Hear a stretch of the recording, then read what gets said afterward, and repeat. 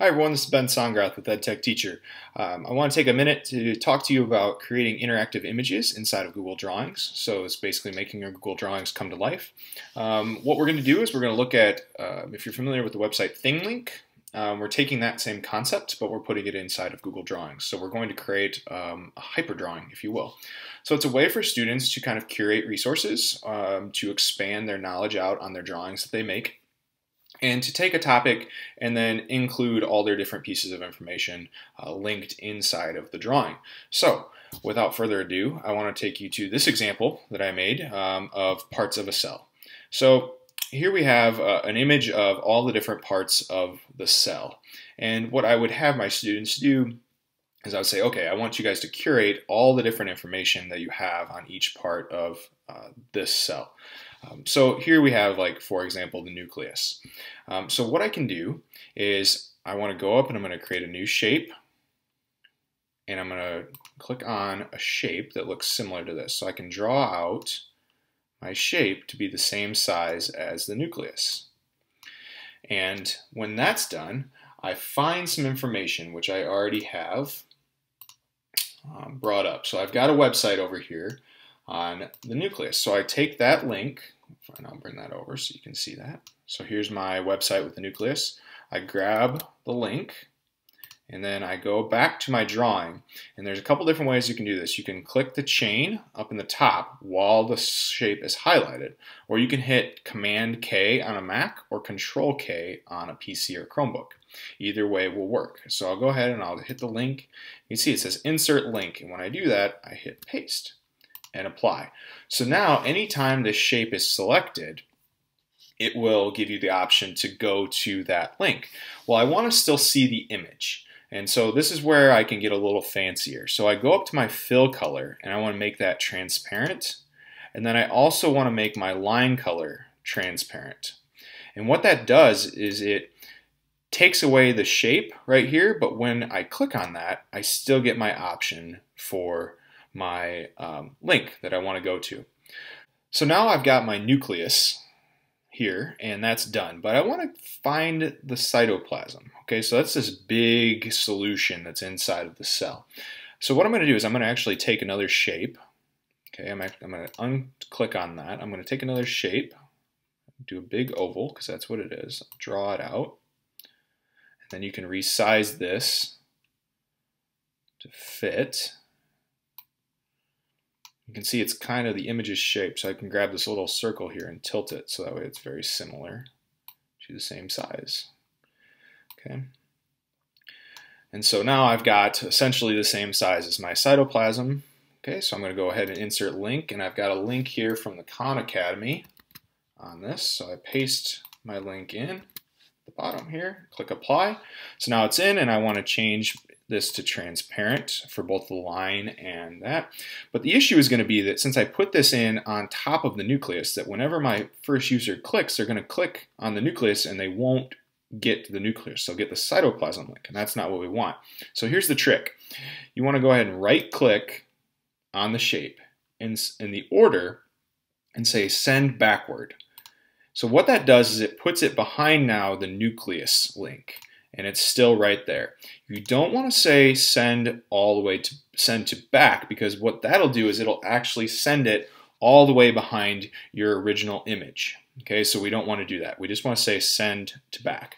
Or have your students do this step first, where they kind of work from back to front. So the smaller, uh, if the background image has something or the background needs to be something, they would start with that um, and just make sure they layer their stuff on top.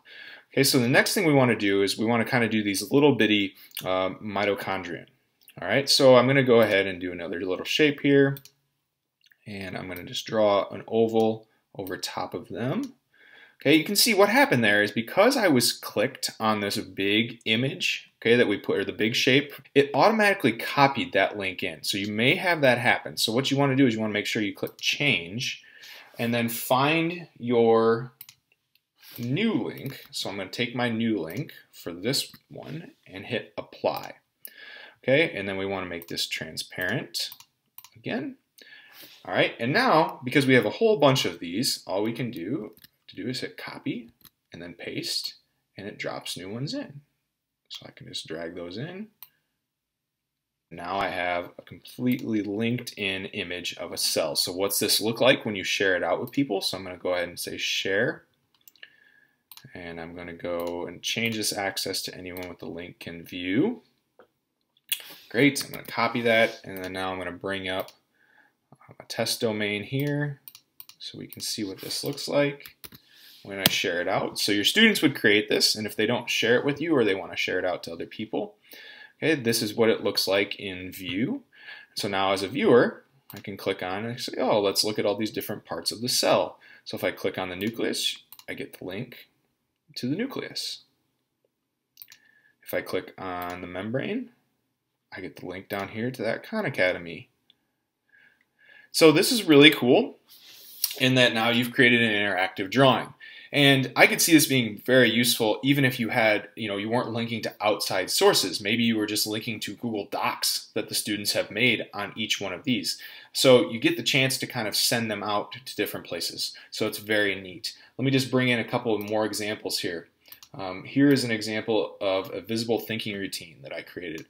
Okay, so this is a circle of viewpoints, and so I found the, the story of Anne Frank. I did this very quickly, but I am thinking of, and I put this in, and then now I've got the image of her hyperlinked out to the website. Okay, so I went through the different viewpoints and then found information that kind of answered my questions.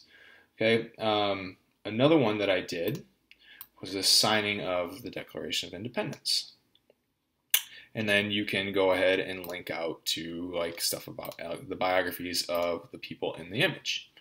Okay. So another example that I did was an interactive map. So I took a map of the United States and I hyperlinked every state to a YouTube video about that state. Now you can see I did this one a little bit different. I didn't use shapes. I used what's called the scribble tool. So I outlined each one of the states and then hyperlinked it to a YouTube video about that state. So I used the History Channel documentary called The States. Okay, so to do this, uh, I'll delete Washington and show you. So I'm actually going to grab this link real quick and then remove, I will delete that. So I go up here to the line tool and then you see Scribble down at the bottom. And what Scribble does is it allows you to trace over top of something or just draw inside of Google Drawings and it creates a custom shape for you. And when that's done, you can link it just like you would a normal shape. Paste and hit apply. So now when I have my mouse selected up here, I can click on the line and I can get to all of those different images. So you could have students actually outline something on their document or on a drawing like this uh, uh, that is embedded inside of the uh, Google Drawing and they can link that out as well. Okay, so again, that's the Scribble which is up here underneath of line all the way down at the bottom. Now the thing about Scribble that is kind of disappointing is that you have to click on the line in order to get the link. You can't click in the middle. Okay, so that is something that is kind of a bummer. Um, but if you click on the line, it still allows you to do that. So that being said, those are just some quick examples of how to create interactive images inside of Google Drawings. Um, I have some more in the blog post that I hope you'll be able to check out. Um, feel free to uh, send me any questions that you have with that and enjoy using Google Drawings.